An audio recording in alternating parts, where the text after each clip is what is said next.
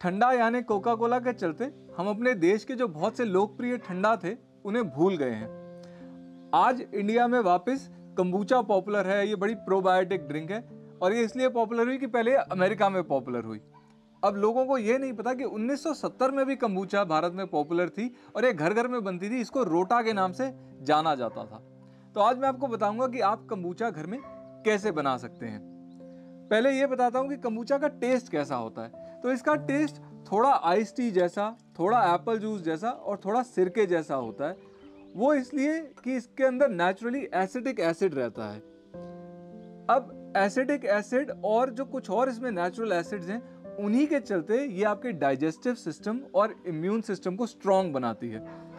अच्छा दूसरी बात ये कि अगर आप गूगल करें कम्बूचा घर में कैसे बनाएँ तो आपको एक आएगा कि पहले आपको स्कोबी चाहिए। अब ये एक भ्रांति है स्कोबी नहीं चाहिए आपको आपको चाहिए रॉ अनपेस्चराइज कम्बूचा और अगर आपके पास कम्बूचा है तो स्कोबी आप खुद बना सकते हैं। तो सबसे पहले एक साफ़ जार ले लें। इसे आप पहले साबुन से धो लें, फिर सिरके से धो लें और अच्छे से सुखा लें।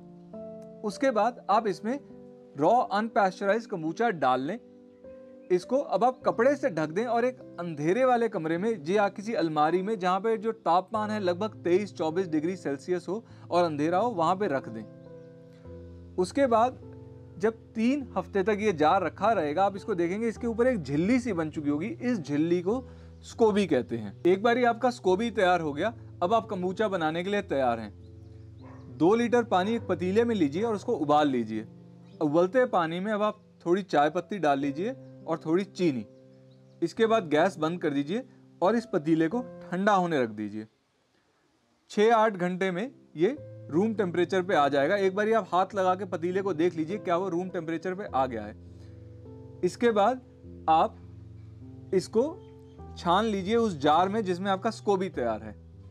उसके बाद आप फिर उस जार पे कपड़ा दोबारा बाँध दीजिए और अब इस जार को फिर से अब आप अंधेरे वाली जगह में रख दीजिए, जहाँ पे तापमान 23 या 24 डिग्री हो। और दो हफ़्ते बाद अब इस जार से आप, आपकी कम्बूचा तैयार है। इस जार से आप कम्बूचा आप एक बॉटल में डाल लीजिए और बॉटल को टाइट बंद करके फिर से आप एक हफ़्ते के लिए उसी जगह रख दीजिए जहाँ आपका जार था। और इसके बाद अब आपकी ये कम्बूचा तैयार है।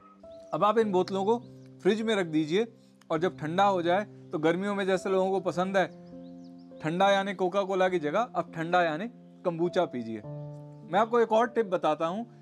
सर्दियों में आप कंबूचा को हल्का गर्म करके पी सकते हैं। जब आप इसको हल्का गर्म करें, इसमें थोड़ी सी दालचीनी डाल दीजिए और इसका टेस्ट आपको लगेगा बिल्कुल एप्पल साइडर जैसा।